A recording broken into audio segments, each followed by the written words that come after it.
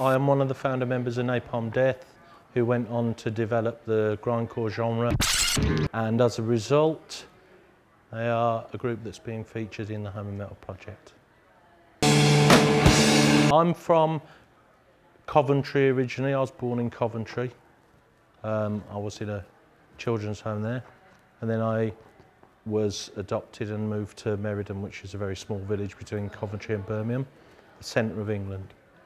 I began to get interested in music when I was 10.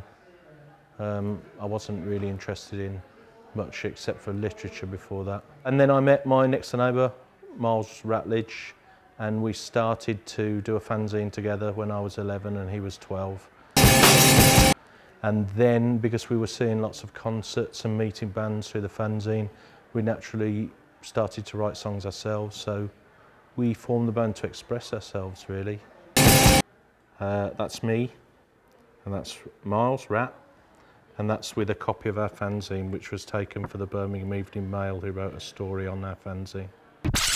Sort of within a year of getting into punk, we discovered a band called Crass, who were an anarchist punk band, and really their critique meant that those larger bands, who were really just rock and roll bands who were dressed in funny clothes, hoping to get record deals, they seemed completely bogus when put up against the politics and the attitude and the uh, approach of bands like Crass.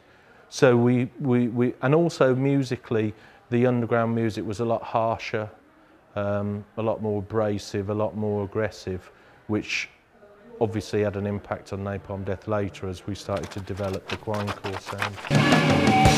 There, there was quite a big recession in Britain at the time and, and the sounds of the city were harsh and cold and, and grey and, and steely and, and very much like granite.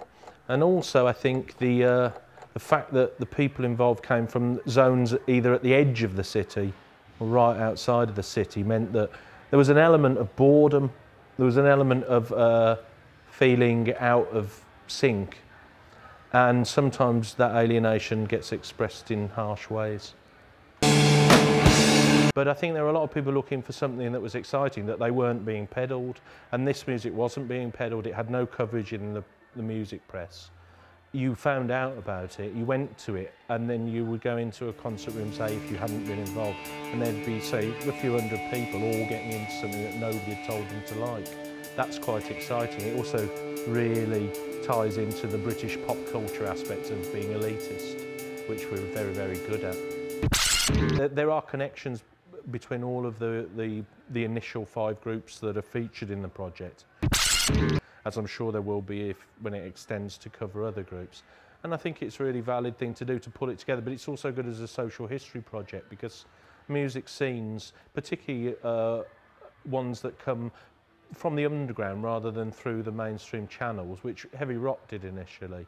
And, you know, and, and bands like Judas Priest came from, from gigging in pubs and meeting people. It's the people that make those scenes develop, those sounds develop in part, as well as the musicians. So when in this project, when people are coming in and bringing their memories, then it feeds back into a continuous cycle.